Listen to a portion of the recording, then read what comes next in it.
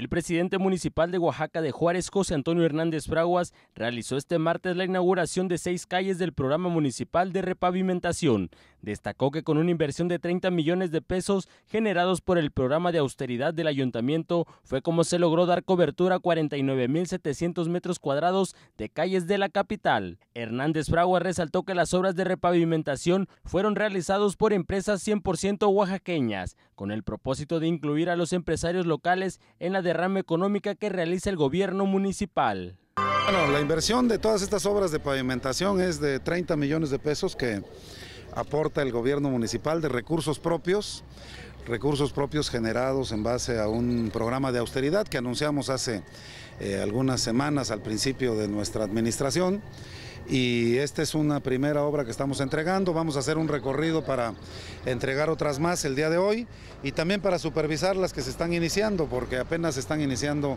algunas otras. En total son cerca de 50 mil, 49 mil 700 metros cuadrados las que vamos a arrancar hoy y vamos a dar una vueltecita para ver las que están empezando, porque algunas apenas están, están iniciándose. Obras licitadas, obras hechas por empresas oaxaqueñas 100%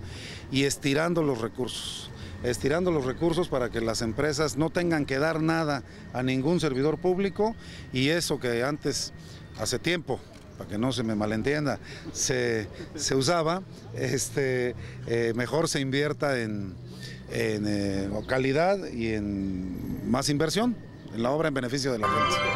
Durante la primera entrega de calles fueron inauguradas las arterias viales de Cuauhtémoc en la agencia de Guadalupe Victoria, Privada México 68 en la colonia Centro, Radamés Treviño en la colonia Olímpica, Azucenas en la colonia Reforma y Cosijo Esa en el centro de la ciudad. El presidente municipal destacó que el programa Austeridad realizado por todos los integrantes de su cabildo se mantendrá durante toda su administración, a fin de destinar mayor recurso para la aplicación de obras públicas. Con imágenes de Azarel Guevara, para MBM Televisión, Rafael Ventura.